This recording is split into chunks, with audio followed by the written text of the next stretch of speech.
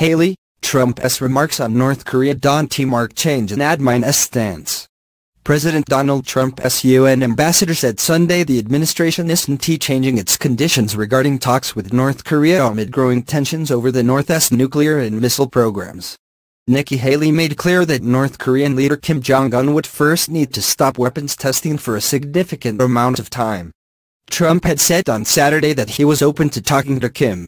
It appeared to be a softening of rhetoric given that Trump lectured Secretary of State Rex Tillerson last year that it would be a waste of time trying to negotiate with Little Rocket Man, Trump's nickname for Kim.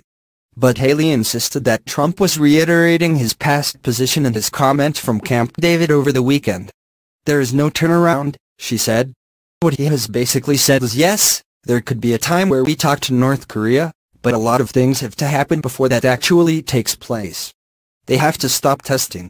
They have to be willing to talk about banning their nuclear weapons. It is a dangerous situation, Haley added. Trump's comments came as the first formal talks between North and South in more than two years are set to take place in a border town Tuesday. The rivals are trying to find ways to cooperate on the Winter Olympics that begin next month in the South. Tensions are high because of the North's nuclear and missile programs. Haley said it was her understanding that the two sides were limiting their talks to the Olympics, but you know, those two countries have to get along.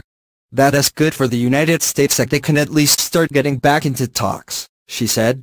The Trump administration has agreed to delay joint military exercises with South Korea until after the Olympics.